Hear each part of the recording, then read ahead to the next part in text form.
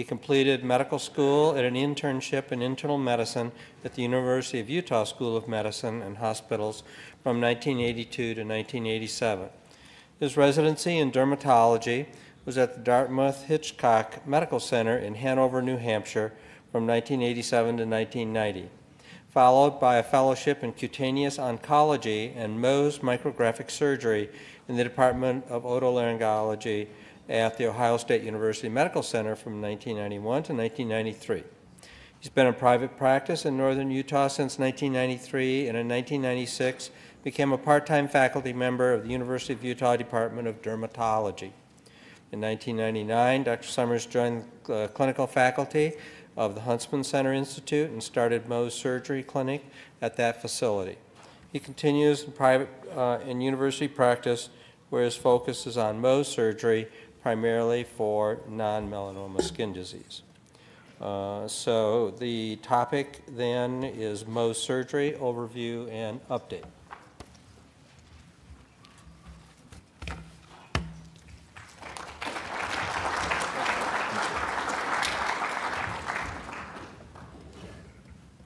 Thank you. Um, I hope you all heard the rain out there and it's making you feel really good that you're in here and not out trying to play golf this morning. So I appreciate being here, appreciate the opportunity of uh, speaking at this group and with this group. It's a great uh, medical community here in, in Ogden and I appreciate the uh, chance to also practice here as well. So um, today we'll be talking about Mohs surgery and we'll uh, give you a little bit of an overview. Um, I have no conflicts of interest.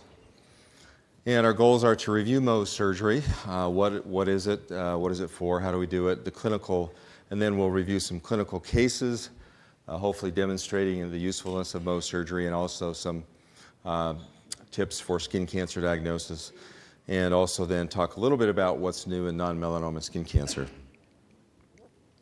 So to begin with, uh, let's talk a little bit about the, the problem of skin cancer. We're really in an epidemic of uh, skin cancer in this country, three and a half million uh, cancers every year. Uh, and one in five Americans will develop some type of skin cancer in their lifetime, and 40 to 50 percent of Americans who live to 65 will at least get one uh, basal or squamous cell carcinoma.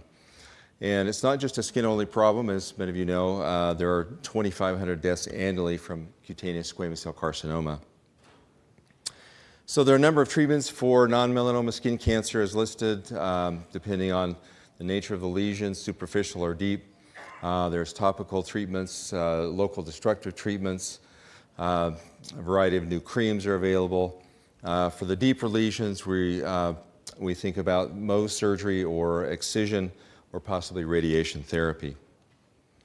So what is Mohs surgery? Um, this has been somewhat of a source of entertainment for me over the 20 years I've been practicing here to see the confusion that exists regarding Mohs surgery. I've seen a number of interesting things written in medical records about Mohs surgery.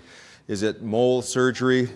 Uh, as, you, as, you, see, you may see a, a patient wrote on their uh, little intake sheet mole surgery. That was the reason why they were there. Uh, is it Mohs surgery from the Three Stooges? Um, is it nose surgery, as we see uh, often written? Uh, it's none of these, of course. Is it MOHS, M-O-H-S, an acronym? It's not really that. Microscopically oriented histographic surgery has actually been written in some medical journals. It's not at all um, an acronym.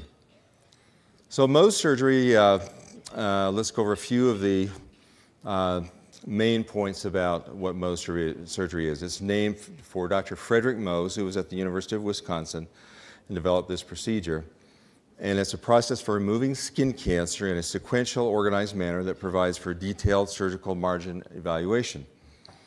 Tissue margins are examined in a horizontal rather, rather than a vertical dimension. Mohs surgery has the highest reported cure rates for non-melanoma skin cancer. The Mohs surgeon performs both the excision of the tumor and the pathologic evaluation of the tissue specimens. And this is most commonly done in an office setting in an outpatient basis uh, with local anesthesia, uh, with frozen section pathology done uh, in office in an on-site lab. And most commonly, this will be done for non-melanoma skin cancer, um, basal cell and squamous cell carcinoma. Mohs surgeons manage the resulting defect with immediate closure or by second intention healing. Uh, and patients with more complex defects, as you'll see as we go on today, are referred to a variety of reconstructive surgeons. Mohs surgery is extremely cost effective. Um, a recent study uh, looked at this and accounted for the recurrences with other treat treatment methods and found it to be actually the cheapest method for non melanoma skin cancer treatment. So, this is Dr. Frederick Mohs from the University of Wisconsin. And just a little bit about the history. Uh, he was formerly trained as a, a, general surgeon, and as a research assistant, he uh, was injecting various substances into rats in the lab and uh, found that zinc chloride would kill tumors in rats but still preserve the, the architecture and histology. And so he devised this fixed, fixed tissue method of surgery, and it, it was called chemosurgery, where a zinc chloride paste would be applied to a tumor as the patient came in. Uh, it would actually kill the tumor cells. The patient would return the next day, and uh, the tissue would be fixed in place. And he would excise the tumor that day and then look at it under the microscope. And if there was still viable tumor, he would apply more of the zinc chloride paste. So that was the original method, and, and that's why sometimes today you'll still hear the term chemosurgery. This was his original report in 1941 of 440 patients in the Archives of Surgery. And then this is followed up in the Archives of Dermatology and Syphilology. Uh, may, maybe some of you know that dermatologists used to be experts on syphilis as well. No longer the case. Uh, anyway, he presented his ser- series on uh, chemosurgery of facial lesions. So, as you might guess, there were some problems with fixed tissue Mohs surgery. There was, uh, there was pain, it took time, there was inflammation, which limited reconstruction. And because of that, a fresh tissue technique was developed where the tumors were excised and frozen section uh, histology was done on site the same day. And Dr. Mohs reported in 1953 a case of eyelid surgery done with a fresh tissue technique uh, with a five year cure rate of 100%. And then in uh, the 1970s, a group in San Francisco made general use really of the fresh tissue technique. Dr. Tromovitch really pioneered that. So this is not Dr. Mohs or Dr. Tromovitch. Uh, this is Ed Allen from Ogden, and I uh, wanted to give a nod to him uh, because he was really uh, one of the first people in Ogden who started doing Mohs surgery, and, and probably in the state of Utah. Ed, are you here somewhere? In the back there. All right. Uh, so Ed could probably tell some history, history about the uh, early days of Mohs surgery in Utah. Uh, so let's talk about the Mohs procedure a little bit, and I thought I'd run through a case uh, and just kind of show you how it's done.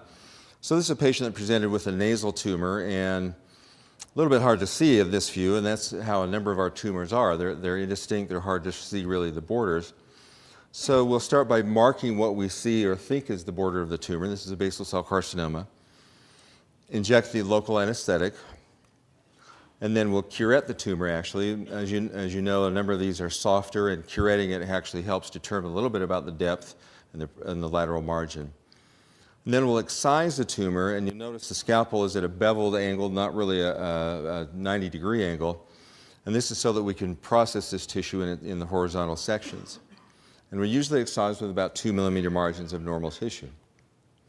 So this is the first excision uh, layer, and the tissue, as you see at the bottom, is marked and, and a map is uh, made. And, look, and then it's processed uh, with frozen section in the lab. So it's placed on a chuck, it's flattened, it's put into basically an ice ball, uh, frozen.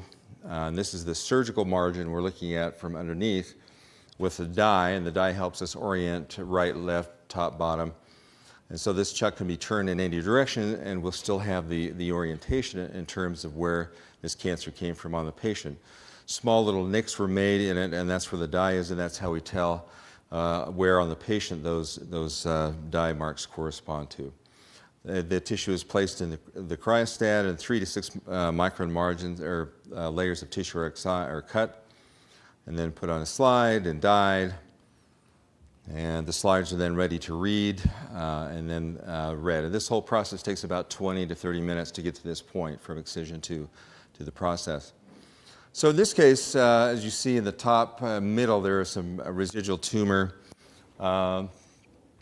There, and this is a close-up of the tumor. So this patient's first layer had, had a positive margin. So now we're going to go back. This has been mapped on our map as to where to go. And we're going to go back and, and re-excise. This would be the second stage of Mohs surgery. Re-excise only in that area where we found positive tumor.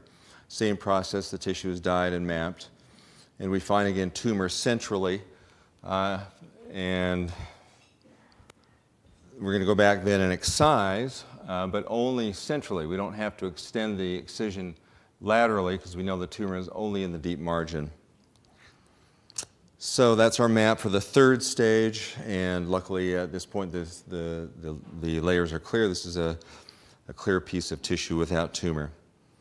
So this is the post-op defect after three stages of Mohs surgery done in the office. Uh, this whole process would have taken maybe two, two and a half hours.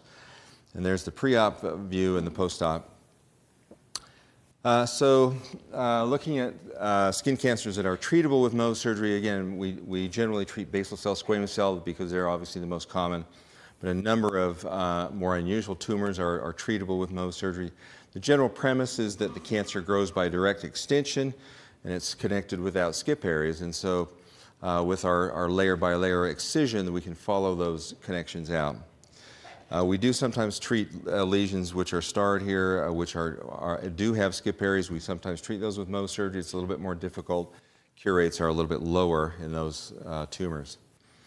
So let's look at the long-term cure rates for primary basal and squamous cell carcinoma. Uh, these would be uh, your standard basal cell squamous cell, not, not something real complex. And as you can see, Mohs surgery has roughly a 10% increase in cure rate over most of the other uh, modalities. Um, now, these, these numbers will change according to site, tumor type, and things like that, but this is for your standard um, everyday garden variety basal cell and squamous cell carcinoma. So, the problem with skin cancer is that uh, what you see is often not what you get. Um, for example, in this, uh, I believe, mock uh, digital uh, photo of, a, of an iceberg, we often we can see the top, but what's below is really unknown to us until we start getting really into the tumor. Another way to look at this is uh, with this squash, which I found in our pantry at home, uh, unfortunately. So uh, on the outside, the uh, the skin is, is really fairly good. There's, there's you know, a few marks on it. There's a suggestion of something here, but it looks relatively normal. But unfortunately, once we get inside, and unfortunately for our pantry, uh, once we get inside, we find that this squash is really not so good. And so overlying a, a, relatively normal surface, there's, there's some bad stuff. So let's look at the indications for Mohs surgery for non-melanoma skin cancers. We want to look at the tumor, we want to look at the, the background skin in the patient. Tumor probably most important, um, so we'll look at uh, whether or not it's recurrent, whether it's a high-risk histology, um, anatomic sites that are critical, and uh, whether or not it has perineural, perineural invasion, the size, and the borders. And background skin, uh, a little bit more concerned about radiation and, and, a chronic scar and maybe a prior excision. And then in patient characteristics, the big one would be immunocompromised patients, which we're seeing more and more of. Um, and then patients with syndromes such as basal cell nevus syndrome. So, why is Mohs surgery more accurate for tumor clearance? If we look at traditional bread loaf histology, uh, these sections are cut vertically through an excised specimen, and these are only maybe uh, a few microns thick. And if it's processed in this manner, it's been estimated that the peripheral margin is only evaluated at, at about 1% or less. And so you may have little extensions of tumor that are missed with standard bread loaf histology. Uh, again, a quadrant histology, same thing. There, uh, it's another way to do it, but again, these are vertical sections, only a few microns thick there may be extensions uh, out which are missed on that type of uh, processing. So with Mohs surgery, um, looking here, we're excising and there's a complete margin evaluation. So if there are these little roots, as we call them, or extensions, then they're going to be found on that margin because we're looking at that in complete margin both peripherally and deep. So this is an example of a, a standard surgical excision, just to show this a little bit more. Um, this was referred to me as a recurrent or a persistent basal cell carcinoma after standard surgical excision. And the path report indicates that uh, tumor was present at the deep margin uh, and um, one ink peripheral margin. Well, the problem is, in this case, where along that margin is it positive? This is, this is the incision line, and it's at one lateral margin and at the deep margin. Well, is it here? Is it here? Where, where exactly is that tumor? So with, uh, in this case, uh, we're left really with no choice to re-excise the entire scar, do Mohs surgery on that, and close the wound. Mohs surgery is also noted to be tissue sparing, and John Zitelli, one of the leaders in our field, recently wrote an article and, and did, did, a study on this and found that Mohs surgery wounds require uh, flaps and grafts and complex repairs much less than standard surgical excision wounds. So we think of ourselves as people who are both uh, sparing tissue and uh, getting complete margin control and, and, high cure rates. So I want to go through a few cases uh, talking about some skin cancer pearls and uh, how to avoid some disasters or at least know if you're in one or not. Um, I do have to read this disclaimer.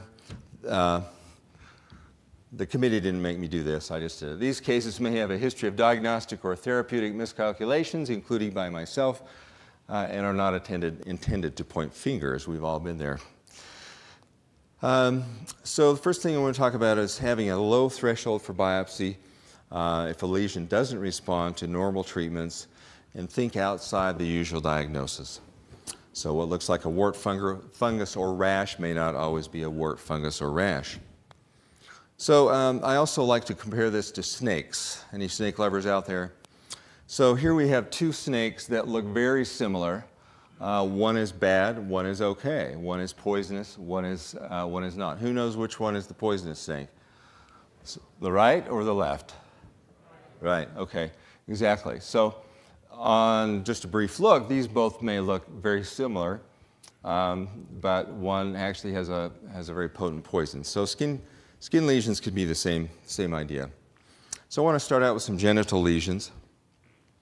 Often here we think of rashes, fungus, intertrigo, all the stuff that happens down there. And uh, we want to think about skin cancer as well. So this is a vulvar lesion, uh, inflammatory, uh, a lot of inflammation surrounding it, some hypopigmentation. Most common diagnosis probably would be a, a chronic dermatitis or lichen simplex. This happened to be a squamous cell carcinoma on biopsy. So if you were to uh, treat that or excise it, if you could look at it and think, where would I cut?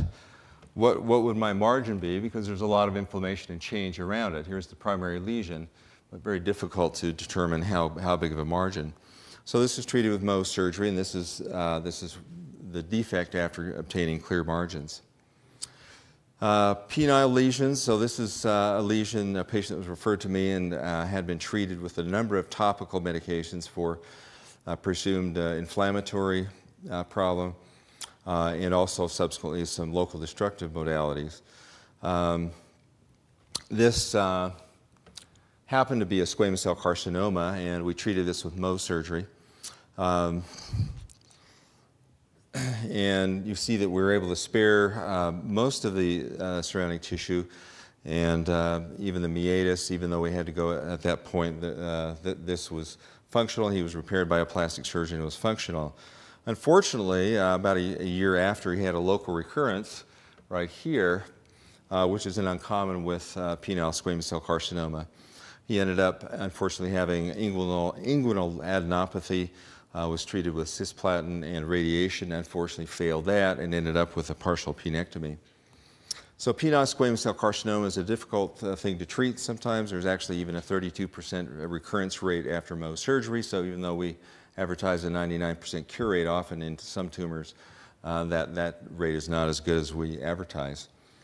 So uh, lymph node mets are, are relatively common.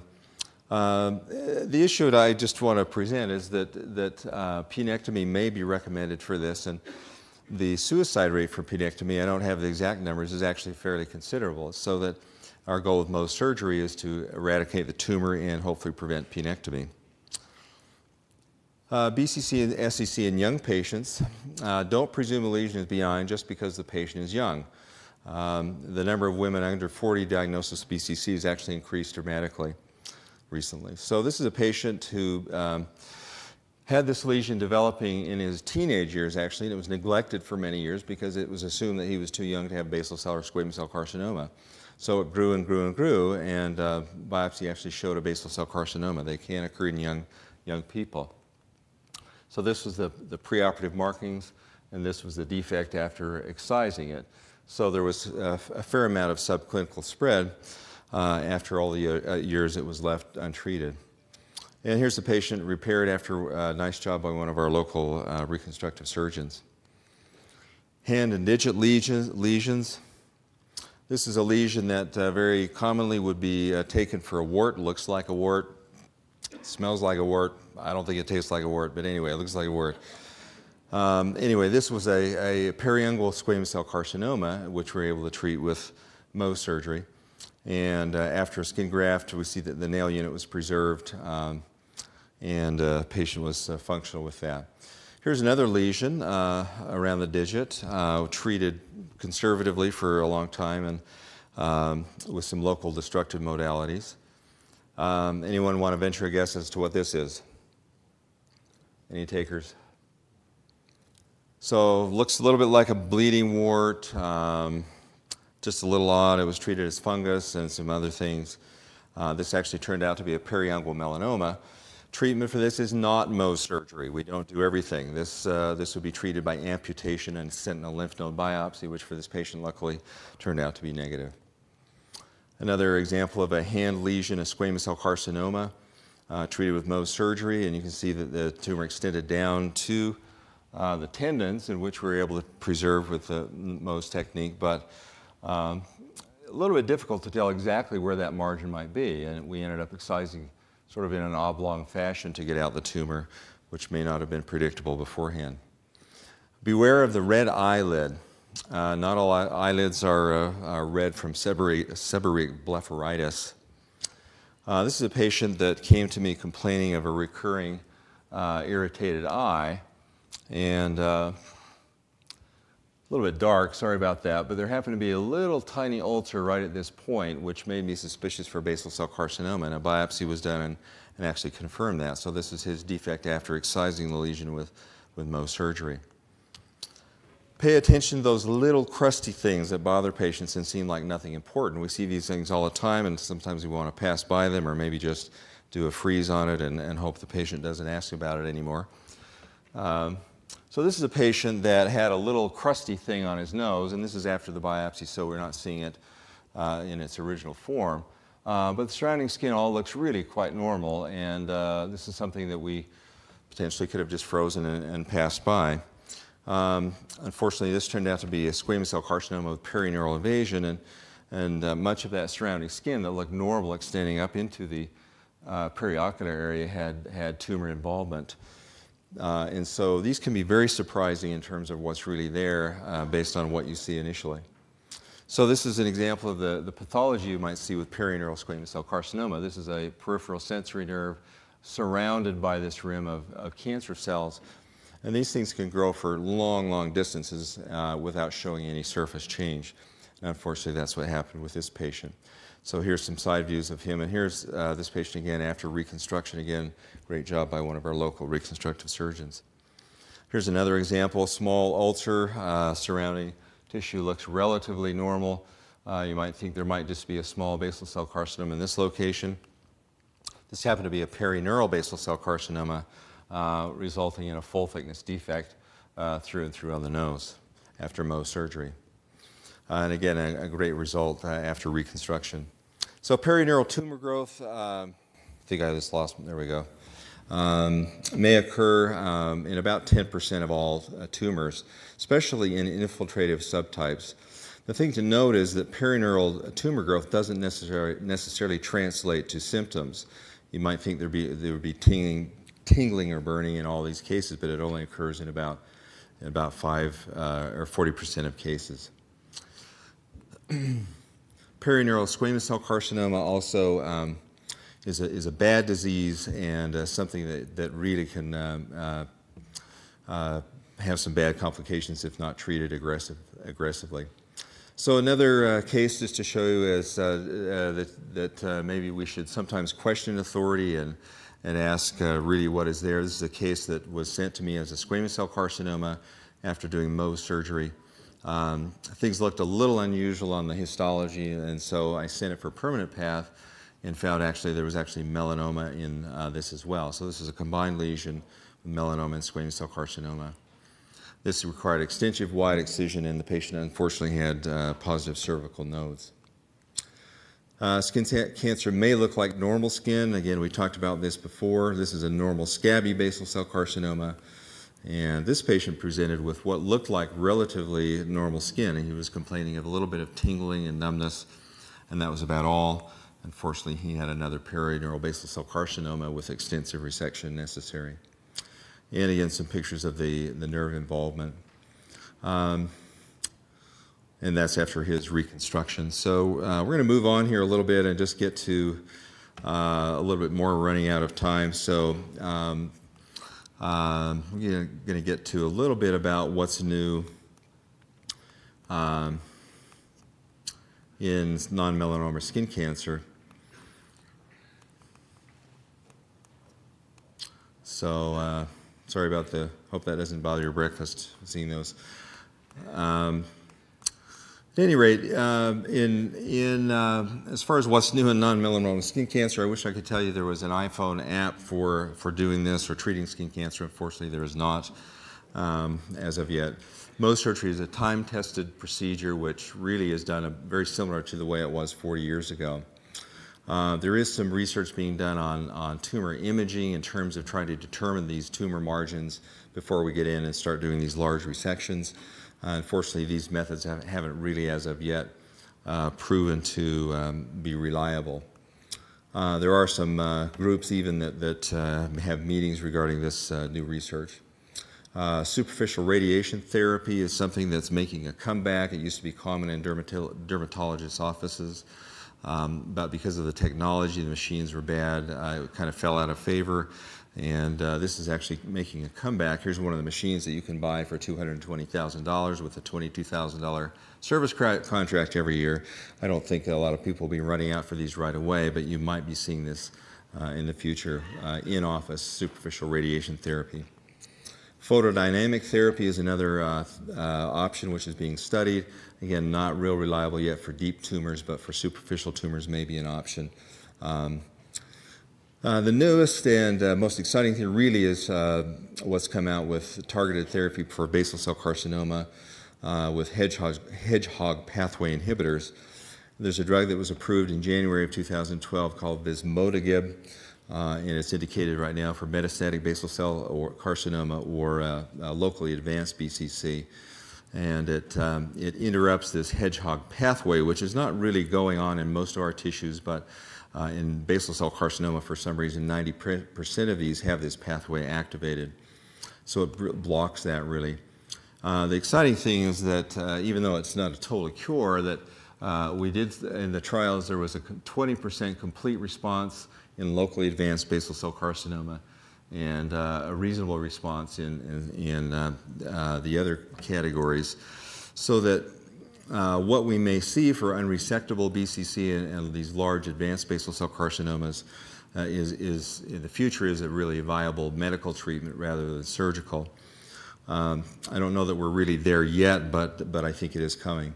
And the other exciting thing is that in patients with basal cell nevus syndrome who get multiple, multiple basal cell carcinomas, uh, this drug was shown to really be uh, fairly exciting. In the, in the treated group, they only developed two new basal cell carcinomas a year, versus 29 with the uh, placebo group.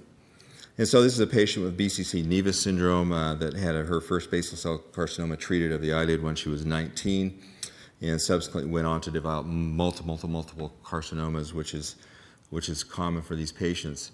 And so this drug could really be a god, godsend, or drugs like it that are coming down the, down the pike. Uh, there are also trials going on for uh, more normal basal cell carcinomas right now. So uh, maybe my job will be replaced by a drug at some point. The uh, Huntsman Cancer Institute, by the way, is uh, going to be involved in a study of a similar drug in the same category if you have patients who, uh, who may be interested in that. So the bad news, uh, just, to, just to finish up, is that human behavior is still what it is. the CDC just came out um, recently with data over the last 10 years in terms of sun protective behaviors. And just to point out a couple of things, Um, sunscreen use in men is still very dismal, around 15% nationwide, and it really hasn't changed over 10 years from 2000 to 2010. So, uh, men, put on your sunscreen. Uh, women uh, do a little bit better with sunscreen. Sunscreen use hovers around 35% in women. It has gone up maybe slightly, uh, but, but really um, not much. You'll notice that women don't really like long sleeve shirts and wide brimmed hats either. Only about 5% uh, do that. So, uh, and, and, perhaps one of the most interesting statistics is that the prevalence of those who have had a, a sunburn um, uh, in the year 2000 and the year 2010 uh, didn't change one bit. The, the, data was exactly the same in that 10 year period. So I'm not really sure what we're doing in terms of education and behavioral modification. It seems like we're, we're about the same as we were 10 years ago, but this is really the challenge. And um, this is an area where you can all help tremendously. So it's my hope that with new research, we don't get into these type of scenarios. Um, sometimes after surgery day, I kind of I kind of feel like we're at that point, but uh, but I think with uh, the future is bright in terms of uh, reducing chances of that. So thank you very much. I appreciate being able to speak, and uh, if you have any questions, I'd be happy to entertain those.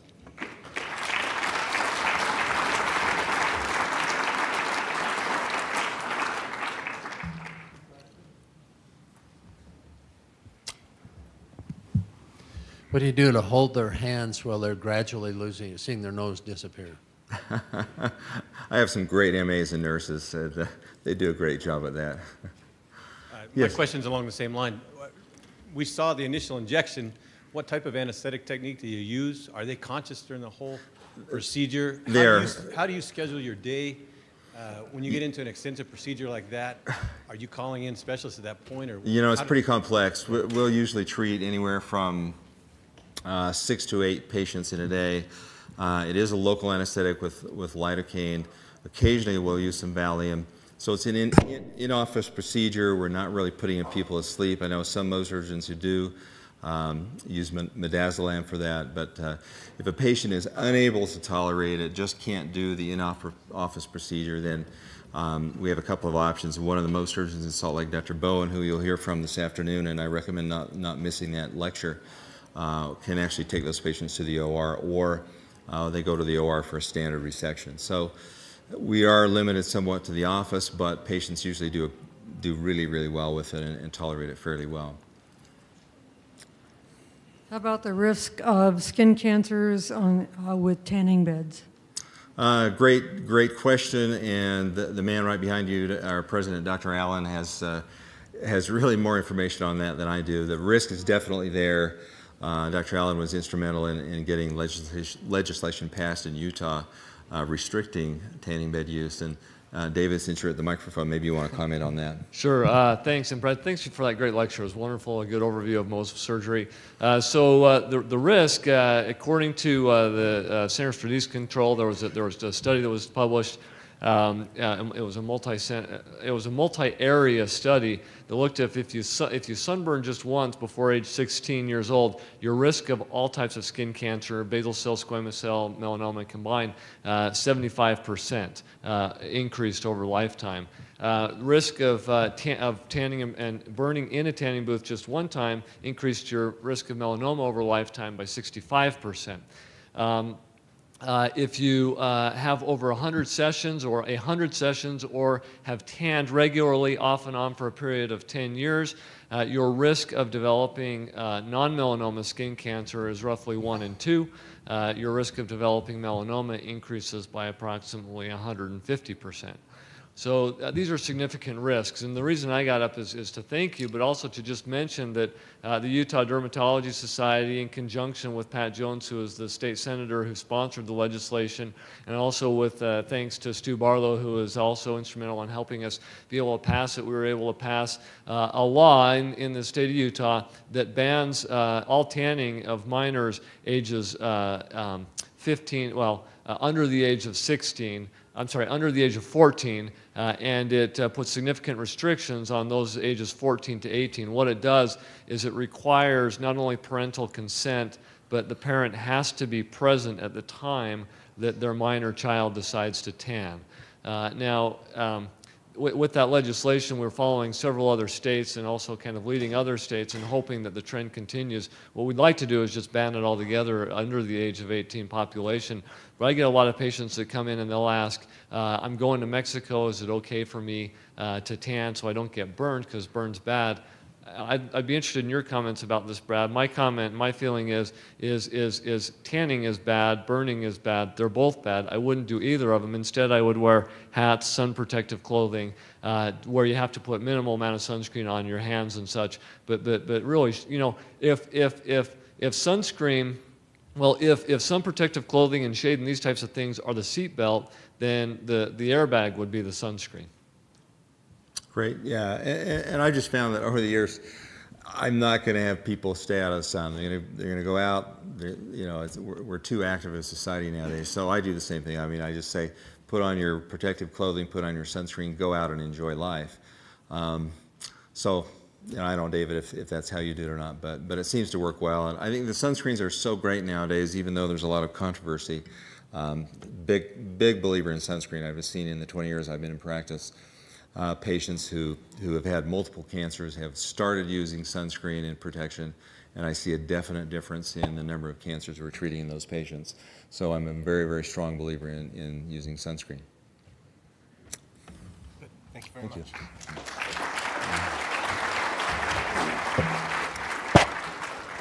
Okay, uh, I think we're on break now till, for half an hour. and